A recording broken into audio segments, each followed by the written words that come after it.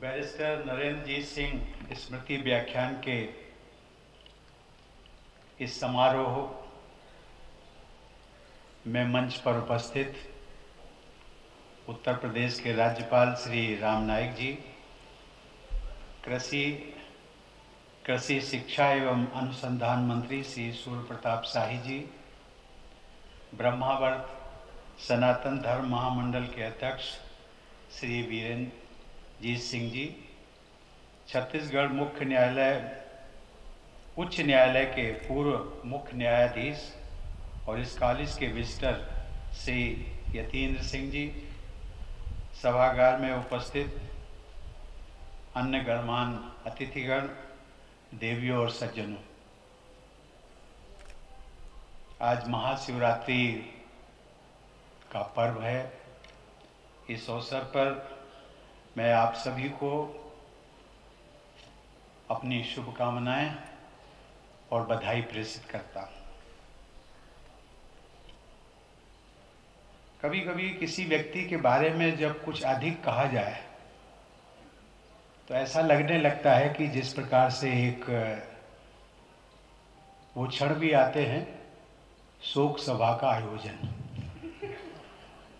और उस समय उस व्यक्ति के बारे में जो ना भी जानता हो, जिसको कभी ना भी किया हो, जो कि बहुत दूरी दूर तक भी ना हो, लेकिन लगता है कि नहीं नहीं, जितनी भी प्रशंसा की जा सकती है, कर लो।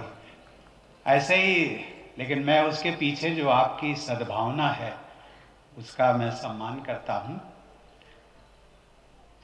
इस क्षेत्र के सजग और विशिष्ट नागरिकों से भरे हुए इस सभागार में मुझे कई परिचित चेहरे बाहर भी मिले, यहाँ पर भी दिख रहे हैं। आप सबके बीच यहाँ आकर के मैं बहुत खुशी का अनुभव कर रहा हूँ। मेरे लिए ये कॉलेज, ये परिसर भी जाना पहचाना है। आज यहाँ के विधि भवन का लोकार्पण करके मुझे प्रसन्नता हुई है।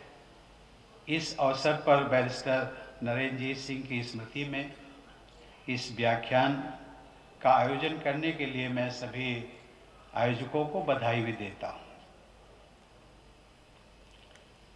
इस विद्यालय के बारे में यद्यपि मैं यहाँ पर मुझे, मैं शिक्षा हासिल करने का सौभाग्य नहीं मिला, वो बी कॉलेज इसी महामंडल की एक जो दूसरी संस्था है अच्छा विद्यालय था, वहाँ पढ़ाई की।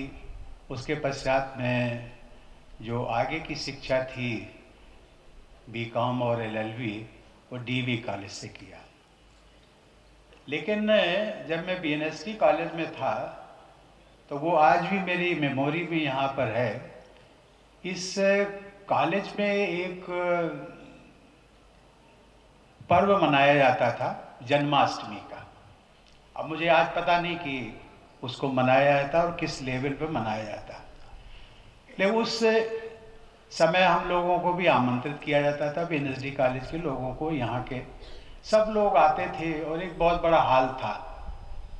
उस हाल में हम सब लोग बैठते थे, वो प्रभु श्री कृष्ण के बारे में कुछ व्याख्यान होते थे कुछ पूजा, अर्चना और ये सिलसिला चलता रहता था लगभग 12 बजे रात्रि तक, क्योंकि उनका जन्म ही 12 बजे होता। है और उसके पश्चात हम सब लोग एकत्रित इसलिए होते थे कि उसमें जो पंजीरी पंजीरी पंजीरी पंजीरी और उसके साथ में जो चरणामृत था, उसके लिए सही मायने में इतनी शायद हमें उस समय इतनी समझ नहीं थी कि हम श्री कृष्ण भगवान के जन्म को हम सेलिब्रेट करने जा रहे हैं, लेकिन उस समय हम लोगों में कभी कभी होड़ भी लगती थी।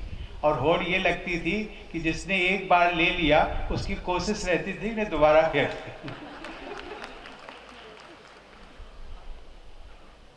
लेकिन ये उस समय की सोच का, सोच व्यक्ति में धीरे धीरे बढ़ती है। आज मैं महसूस करता हूँ ये चीज़ हमने शेयर की है आपसे लेकिन इसका कहीं गलत अर्थ ये ना लगा लिया जाए कि मैं, प्रारंभिक दिनों से भी इस प्रकार की चेष्टा करता रहा।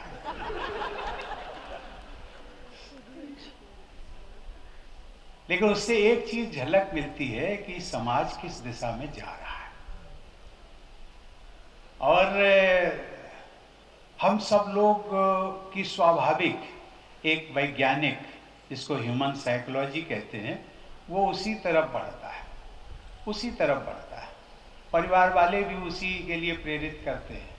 जो कोई भी आपको मिलेगा, आपका इष्ट मित्र होगा, रिश्तेदार होगा, वो भी उसी दिशा में कि देखिए, वो उस व्यक्ति का कितना विकास हो गया, वो व्यक्ति कहाँ से कहाँ तक पहुँच गया और किसके माध्यम से? शिक्षा के माध्यम से उतनी ऊंचाई तक नहीं पहुँचा, लेकिन वो दूसरे जो गैर शिक्षा से जुड़े हुए जो कुछ प्रचलन हैं, उनके माध्यम से बहुत आगे तक पहुँच गया।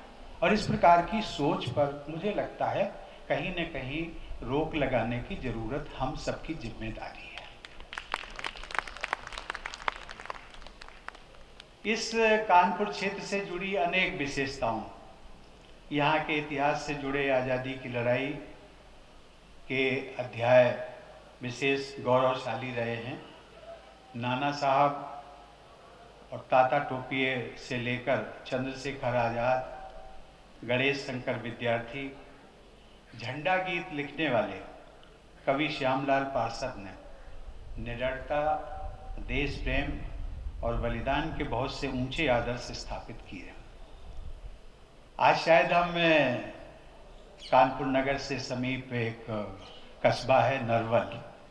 वहाँ पर ये पैदाइश हुई थी श्यामलाल पार्षद जी की, जिन्होंने गीत लिखा था, झंडा ऊँचा रहे हमारा, विजयी विश्व, तिरंगा प्यारा। उस झंडे की सार्थकता मुझे लगता है कि जो स्वतंत्रता आंदोलन के दौरान थी, उससे बढ़ चढ़ करके आज उसकी प्रासंगिकता और भी बढ़ गई। और इसीलिए मैंने एक बार मुख्यमंत्री जी से अनुरोध किया कि मुख्यमंत्री जी, एक ये हम सब लोगों के लिए गर्व का विषय है कि उत्तर प्रदेश और उत्तर प्रदेश में भी कानपुर नगर के समीप एक कस्बे में जो पैदा हुए थे, श्यामलाल पार्षद जी, श्यामलाल गुप्ता पार्षद। वो पार्षद शायद उनको उपाधि दी गई थी। वो इस गीत के लिखने वाले हैं तो मुख्यमंत्री जी ने सहर्ष स्वीकार किया कि हम चलेंगे, सब लोग मिलकर के चलेंगे। पहले उनके गाँव में जितना भी हम कुछ विकास कार्य करा सकते हैं, वो करा लेते हैं, क्योंकि उनकी स्मृति को नमन करने का आज हमारे पास अन्य कोई साधन नहीं है। इसके अतिरिक्त कि उनकी स्मृति को हमेशा हमेशा के लिए बनाए रखने के लिए सरकार कुछ काम कर सके। वो क्षण भी आएगा। हमारी आज़ादी की लड़ाई और नव समाज के नव निर्माण में वकीलों की बहुत ही बड़ी भूमिका रही। बैरिस्टर मोहनदास करमचंद गांधी की, बैरिस्टर से महात्मा बनने तक की यात्रा इसका सबसे बड़ा उदाहरण है। गांधी जी की पीढ़ी से थोड़ा पहले ही वकालत शुरू करते हुए समाज को योगदान देने की सराहनीय परंपरा शुरू हो चुकी थी, जो उनकी पीढ़ी में और भी मज़बूत हुई। राय बहादुर विक्रमाजीत सिंह, जिनकी स्मृति में ये कॉलेज संचालक है, भी गांधी जी की पीढ़ी के ही थे। उन्होंने भी वकालत, राजनीति और व्यापार से जुड़े रहकर समाज और संस्कृति को योगदान देने के लिए ब्रह्मावर्त सनातन धर्म महामंडल की स्थापना की। मुझे बताया गया है कि ये महामंडल 107 साल पहले स्थापित किया गया था। इसके तहत कई शिक्षण संस्थान खोले गए। मैं भी इस महामंडल द्वारा स्थापित और संचालित बीएनएसडी कॉलेज का विद्यार्थी रहा हूँ। इस महाविद्यालय में दीनदयाल उपाध्याय जी विद्यार्थी हुआ करते थे। मुझे बताया गया सन उन्नीस सौ सैंतीस से उन्नीस सौ उनतालीस तक। इसी कॉलेज के छात्रावास में रहकर उन्होंने अपनी बीए की पढ़ाई पूरी की और प्रथम श्रेणी के साथ स्नातक की उपाधि प्राप्त की। उनके राजनैतिक जीवन की बुनियाद इसी कॉलेज में उनके विद्यार्थी जीवन के दौरान पड़ी। आधुनिक भारत के चिंतन और राजनीति को एकात्मवाद एकात्म मानववाद और अंत्योदय जैसे आदर्शों से समृद्ध करने वाले दीनदयाल जी भारत की गौरवशाली संस्कृति के एक महान प्रतिनिधि के रूप में अमर हुए हैं। उनका यहाँ का पूर्व छात्र होना इस महाविद्यालय के लिए बहुत ही गौरव की बात है। मैं आशा करता हूँ कि इस कॉलेज में शुरू किए जा रहे पाँच साल के इंटीग्रेटेड लॉ कोर्स की पढ़ाई करने वाले विद्यार्थी और अन्य सभी संकायों के विद्यार्थी इस कॉलेज की प्रतिष्ठा को बढ़ाएँगे। कानून की पढ़ाई विद्यार्थियों को, समाज को योगदान देने के लिए विशेष रूप से सक्षम बनाती है। कानून और कानून से जुड़ी प्रक्रियाओं की सामाजिक बदलाव में महत्वपूर्ण भूमिका होती है। यहाँ देश की न्याय व्यवस्था से जुड़े लोग भी उपस्थित हैं। ये सभी को मालूम है कि हमारे देश की व्यवस्था में जन साधारण के लिए न्याय प्रक्रिया लंबी, जटिल और महँगी होती जा रही है। देश की न्याय व्यवस्था से जुड़कर मैंने भी गरीब लोगों के न्याय पाने के संघर्ष को नज़दीक से देखा है। न्यायपालिका ही सबका सहारा होती है। गरीबों के लिए न्याय प्रक्रिया में होने वाले विलंब का बोझ बहुत भारी पड़ता है। लेकिन भारत की न्याय प्रणाली पर लोगों की आस्था अभी भी बनी हुई है। न्याय प्रक्रिया में विलंब के कारण होने वाले अन्याय को दूर करने के लिए न्यायिक सुधार लाने के लिए हम सबको निरंतर प्रयास करते रहना चाहिए।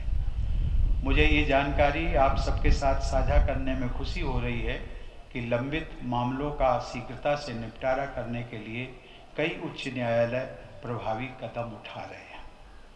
विलंब के अलावा एक और गंभीर समस्या ये है कि न्याय पाने के लिए जो गरीब मुवक्किल पैसा खर्च करता है और जिसके लिए पूरी प्रक्रिया सबसे अधिक महत्वपूर्ण है वही इस प्रक्रिया के बारे में कुछ भी नहीं जान पाता। वह पूरी तरह से अपने वकील या अन्य लोगों पर आश्रित रहता है। निचली अदालतों में तो स्थानीय भाषाओं में काम होता है, लेकिन उच्च न्यायालयों में अंग्रेज़ी में ही काम होने का चलन है। उच्च न्यायालयों द्वारा निर्णयों और आदेशों की सत्य प्रतिलिपि का स्थानीय भाषा में अनुवाद उपलब्ध कराने की व्यवस्था होनी चाहिए। मुझे आप सबको ये बताने में खुशी हो रही है कि छत्तीसगढ़, जहाँ पर हमारे यतीन्द्र सिंह जी हाईकोर्ट के जज रह चुके हैं, छत्तीसगढ़ उच्च न्यायालय ने अंग्रेज़ी में दिए गए निर्णयों और आदेशों के साथ साथ उनके हिंदी अनुवाद भी उपलब्ध कराने की नई शुरुआत कर दी है। अन्य कई उच्च न्यायालय भी इस दिशा में आगे बढ़ रहे हैं और मुझे विश्वास है कि अगले आगामी दो या तीन महीनों में इन सब के सुखद परिणाम हम सबको देखने को मिलेंगे। मुझे उम्मीद है कि यहाँ से शिक्षा प्राप्त करने वाले विद्यार्थी जब देश की न्याय व्यवस्था से जुड़ेंगे तो ज़रूरतमंद और गरीबों को यथोचित न्याय उपलब्ध कराने में अपना योगदान देंगे। मैं आशा करता हूँ कि यहाँ के सभी विभागों के विद्यार्थी भी शिक्षा के साथ साथ यहाँ के प्रबुद्ध नागरिकों से मार्गदर्शन प्राप्त करके समाज और देश को बेहतर बनाने के लिए प्रयास करते रहेंगे। मैं एक बार फिर इस इस स्मृति व्याख्यान के आयोजकों को बधाई देता हूँ। धन्यवाद। जय हिंद।